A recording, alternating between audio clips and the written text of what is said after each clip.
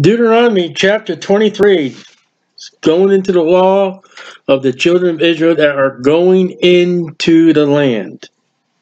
He that is wounded in the stones, private area, or has his privy member cut off, shall not enter the congregation of the Lord. You gotta put yourself a question there. Is that a sex change? Or not? They should not enter in the congregation of the Lord. A bastard. That's the first time that shows up in the Bible. Born out of wedlock. Shall not enter in the congregation of the Lord. Even to his tenth generation shall he not enter in the congregation of the Lord. Now, I know somebody that was involved in the Catholic Church and wanted to join the church. And because of this verse here, because of his parents, the situation thereof, would not even let him into church because he was a bastard.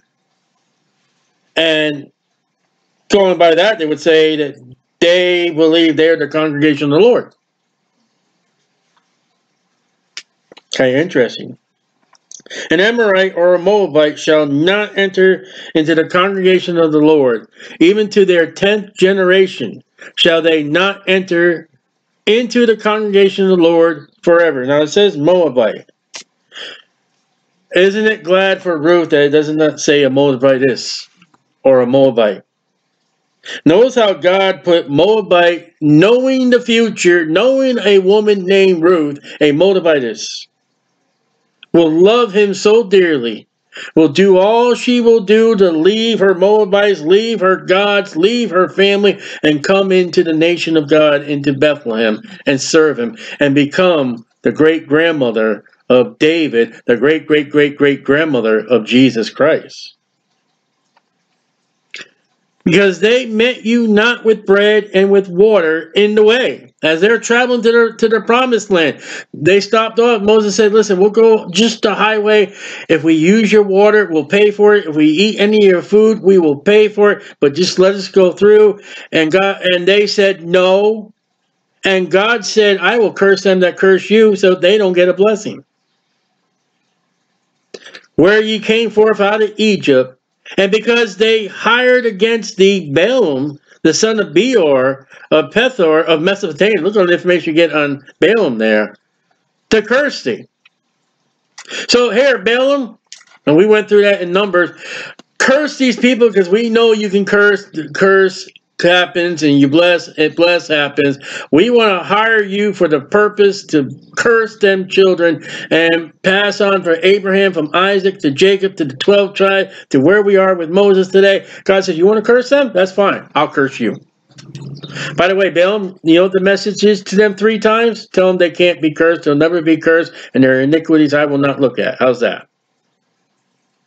And because of that, Moabite comes knocking on the on the temple. We come here for God. Scripture says nope. But sirs, we, we us men, we want to do right. Nope, sorry. A little Moabite woman comes. I want to serve God. Come on in. See how the wording is? You see how it is if you were to change a word or add a word to the Bible? Now, I don't know. I don't care. I didn't look up. But what if the modern Bible said Ammon, the children of Ammon, the children of Moab? I don't know. Maybe I. Then that would ruin Ruth. And there's a place in, in the Gospels where it said, Jesus says, I'm not going to go there. And I forget, there's one word, I forget what the word is. And the new Bibles removed that word. So when he does show up to the feast, it makes Jesus a liar. Be careful of the word. And be, be certain of the words in the Bible. As I'm studying the, the words of the Bible the first time they show up, those words prove that the Bible is not written by man, it's written by God. Don't mess with the words. Because they hired Balaam. Verse 5, Nevertheless, the Lord thy God would not hearken unto Balaam. That's kind of interesting because Balaam would, when we went over the story, God says, what are these men doing? They want to curse this nation. They want to curse these people. And God says, I'm not going to curse them. But he would not hearken unto Balaam. So evidently Balaam was part of wanting to curse those children of Israel. And remember, his doctrine, his teachings was for Israel to go fornicate, to adulterate, to get involved with the, with Beth Peor, the god thereof. But the Lord thy God turned the curse into a blessing unto thee, because the Lord thy God loved thee. Thou shalt not seek their peace nor their prosperity in all the days forever. Don't go running to Moab. Don't go help to Moab. Thou shalt not abhor Edom, for he is thy brother, Esau. Esau is Edom, Edom is Esau. They're brothers between uh, Rebekah and Isaac. Thou shalt not abhor, it means extreme hatred, an Egyptian, because thou was a stranger in his land. Now, you're not to hate the Egyptian for what he's done to you. Remember, remember what happened to you. And there were Egyptians amongst the children of Israel through the wilderness journey. Some of them still wanted the Egyptian ways. The children that are begotten of them shall enter into the congregation of the Lord in their third generation. That's the Egyptians. And maybe the Edomites, but I really don't believe the Edomites because there's one whole book dedicated against Edom. Edom, not only when the children of Israel come through with Moses, that they will not help the children of Israel. Later on, when, when King uh, Nebuchadnezzar comes with Babylon, Edom is capturing the Jews and selling them back over to, Mo, to the Babylon. Say, here, look, I found a Jew. How much will you give me? So it's got to be to the last, the Egyptian. And God says the Egyptian can come in. And I know personally a missionary that has gone and probably is still going over to Egypt and witnessing to them about Jesus Christ. And they're getting saved. The children that are begotten of them shall enter the congregation of the Lord in their third generation, three generations later. When the host goes forth against the, thine enemies, then keep thee from every wicked thing. Uh, we just read it as a family. Now look at that. That's Achan. That's Achan. Achan is there when Moses says, you better keep yourself from that wicked thing. And Joshua is going to tell the children of Israel, get away from that wicked thing. Joshua is going to call it a cursed thing. Achan has been warned twice. And the sin of Achan has been recorded in the book of Deuteronomy. So I don't think Achan was innocent. There be among you any man that is not clean by reason of uncleanness that chances, that's the first and last time that shows up, chances, him by night. Then shall he go abroad out of the camp, he shall not come within the camp. But it shall be when evening cometh, 6 p.m., he shall wash himself with water, and when the sun is down, sunset, he shall come into the camp again. You got to read this whole section before we look at what's happening here. Thou shalt have a place on thou shalt have a place also without the camp, whether thou shalt go forth abroad. 11, verse 11.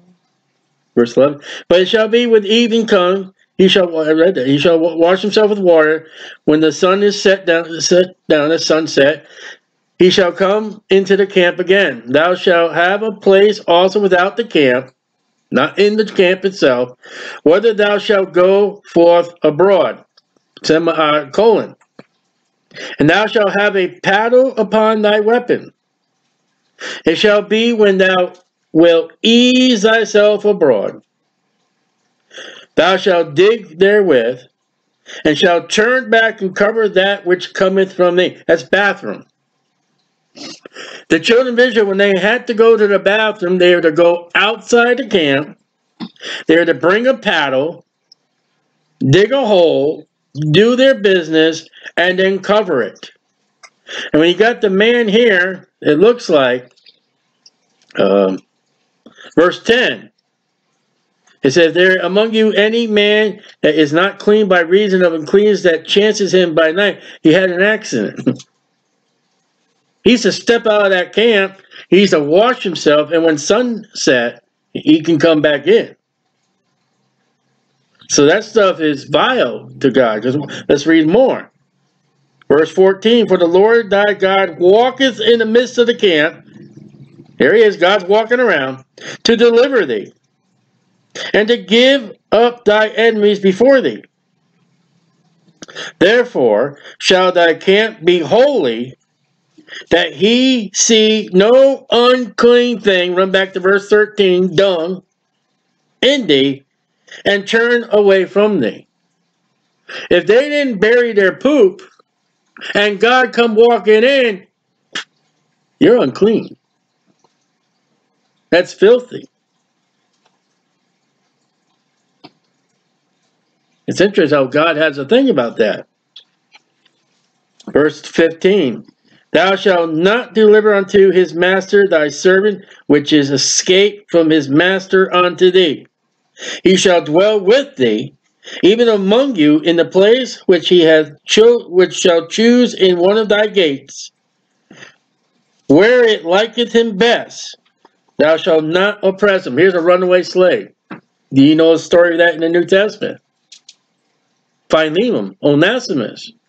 And he dwelt with Paul for a while. And Paul is using him. Paul wants him for the ministry. And Paul realizes that this man is under the bondage, under the price of another man, Philemon. And he's like, I can't keep you. I am going to send you back to your to your master, which violates the law, which we're not under the law. And I'm going to send you this letter to Philemon and if he's going to keep you, he's going to keep you. But if he releases you and gives you freedom, I want you to come back here and I want you to serve the Lord with me. Paul, he says, listen, I'm a Hebrew of the Hebrews. I'm the Benjamin of the Benjaminite. I am the Pharisee of the Pharisees. I obey the law. And here he disobeyed the law.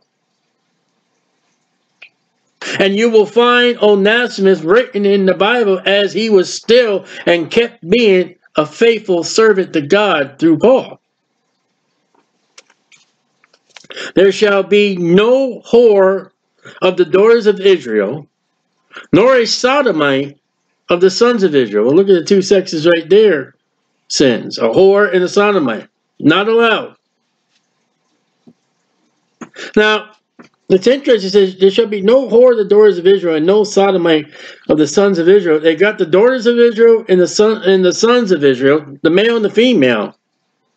And if it's the same classification of the sin, God calls it a whoredom. If a man sells himself, which they do have men that sell themselves, they're called a sodomite because a lot of times when you got a male prostitute, he will sell himself to another male perverse world.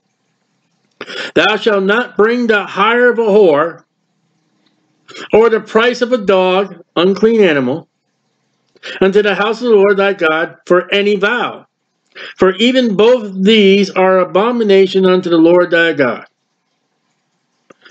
So, don't bring your perversion money into the house of the Lord. You're making money from being a whore. Don't don't give it to God. You're making money off anim animals that are unclean. Don't bring it to God. Where would that be? Well, there were a bunch of men who had swine upon the areas when Jesus was. That's the land of Israel. There was a man who who said to his father, "Give me all my stuff," and wasted all his stuff, and he ended up in a pigsty, which is unclean. So if he had, which he didn't get any money, the Bible says, but had he been paid by that swine owner, he couldn't bring it to the house of God. That, that animal's unclean. Aren't you glad we're under grace? If you had a, a, a kennel of dogs today, uh, we're under the law. God says, I don't want that money. But dogs are unclean. But we're under grace. Thou shalt not lend upon usury interest to thy brother, Jewish, Usury of money, usury of victuals, usury of anything that is lent upon usury. Anything that you lend out to your brother. If you lend it up, uh, if it costs $10, you get back $10. You don't get any interest. Unto a stranger, Gentiles, thou mayest lend upon usury. So God has given the Jew permission and authority by the law. You can go ahead and be a banking people to the Gentile, uh, yeah, to the Gentiles. You can give them interest rates. But to fellow Jews, no. I wonder if that's practiced amongst Jewish bankers today, amongst Jewish customers. If there's a Jewish bank or a Jewish lending system and a Jewish person comes walking in and needs help, I wonder today if they charge him usury or interest. The Bible completely says no. But to the stranger thou mayest lend upon usury, but unto thy brother, Jewish, thou shalt not lend usury upon usury. That the Lord thy God may bless thee in all thou settest thy hand to do, uh, all thou settest thy hand to in, settest thy hand to in the land, whether thou goest to possess it. Now, that can be a loophole for a Jewish person to, well, we're in the United States of America, we're not in the land. Ah, okay. Looking for the first loophole in the Bible, in the law, and there it is. If you're in the land of Israel, the 12 tribes of Israel, the Bible says, the law said, you can't charge them usury. So if you're in Italy, you're in Egypt, you're in Greece, you're in Germany, you're in America, well, they're not in the land. That's kind of interesting there, that one. But what did God tell them? They're supposed to be in the land. That's their land. They're not supposed to be anywhere else. When God brought judgment upon them, when God treated them and brought them to other lands, it's because of their sins. It's because of judgment. When thou shalt vow a vow unto the Lord thy God, thou shalt not slack to pay it. For the Lord thy God will surely require it of thee, and it would be sin in thee. And you see that in the Old Testament. Solomon writes about this. Jesus speaks about this. Paul speaks about this. It's in the church age documents. If you got a vow, you better pay that vow. It's important. Jephthah, you say, well, that guy is so wicked, he killed his daughter, but he vowed a vow unto God. I don't care if he was thinking of a chicken or an ox or uh, whatever clean animal was going to come out of that house, eh, whatever he was thought of. He would never have thought the day of his life it would have been a human being, but yet he stuck to his vow. It's wrong, but he stuck to his vow. You got to say that. But if thou shalt forbear to vow, it shall be no sin in thee. Don't even open your mouth. Don't even say it. It's better not say it and have no sin, and better than saying it and not doing it. And it's a sin, and if it's a sin, you got to go to the temple, Old Testament. You got to bring an animal. You got to confess to that priest in the Old Testament. In the Old Testament. I'm not talking about a priest today. And if we do it as Christians, we need the First John 1 9. We need to confess it. We need to get it right. We need to make duty vow, even though we didn't do it. Restitution. That which is gone out of thy lips, thou shalt keep and perform.